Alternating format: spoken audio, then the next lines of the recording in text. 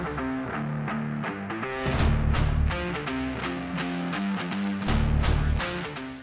Ben ritrovati amici di calciomercato.com, oggi per raccontarvi di Renan Lodi, terzino brasiliano dell'Atletico Madrid che è stato un passo dalla Juventus e si può considerare un rimpianto perché sta facendo molto bene con il Ciolo Simeone che da subito ha voluto puntare su di lui come titolare al posto di Felipe Luis, un terzino che sta avendo un ottimo rendimento e che alla Juve era stato proposto ai tempi dell'Atletico Paranaense, uno dei migliori laterali del Sud America che Paratici ha trattato personalmente con i suoi procuratori e con i dirigenti dell'Atletico, poi si è scelto di non fare un investimento investimento così oneroso su questo ragazzo, adesso l'Atletico lo sta decisamente valorizzando, la Juventus continua